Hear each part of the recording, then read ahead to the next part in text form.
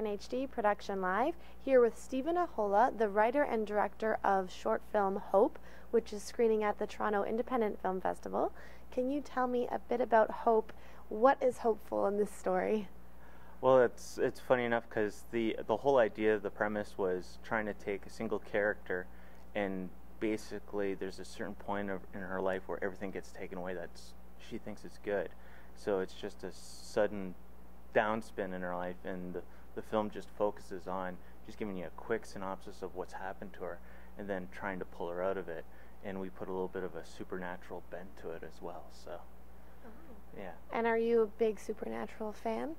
Well, it's it's not that it's uh, supernatural. It's just I like unique concepts, mm-hmm. and it's just the idea that if everything in life and people that we see are constantly bad, where can we turn to to try to maybe find some hope?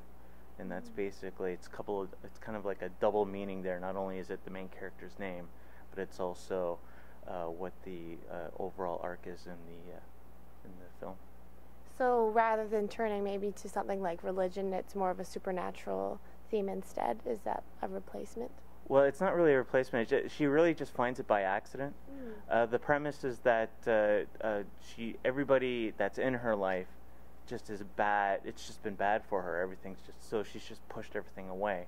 So by pushing life away, she unbeknownst opens a door somewhere else, and then she kind of sees that as a bad thing as well. So it's a lot of confusion and everything and then the film just focuses trying to clear that confusion up and just trying to give her a little bit of light that doesn't turn into a train.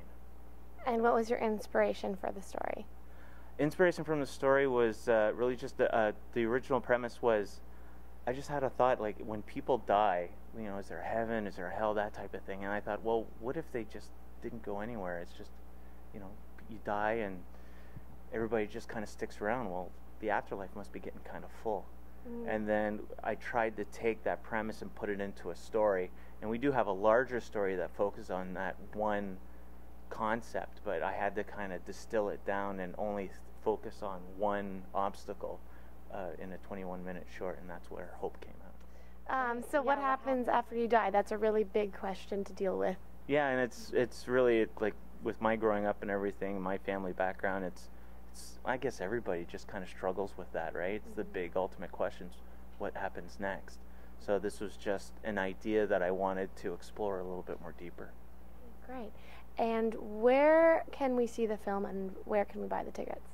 Uh, the film uh, will be played this Monday at the uh, Toronto Underground uh, Cinema on uh, Spadina. Uh, the festival is the Toronto Independent Film Festival. And I believe if you just Google Toronto Independent Film Festival, it'll take you right to where you can get tickets. Great. And do you have a website that we can check out as well? Website for Hope is uh, uberriff.com, U B E R R I F F.com, and we're also on Facebook and Twitter too. Great. Thank you so much, Steven. Oh, thank you for having me. I'm Katie Uhlmann reporting for TTNHD Production Live.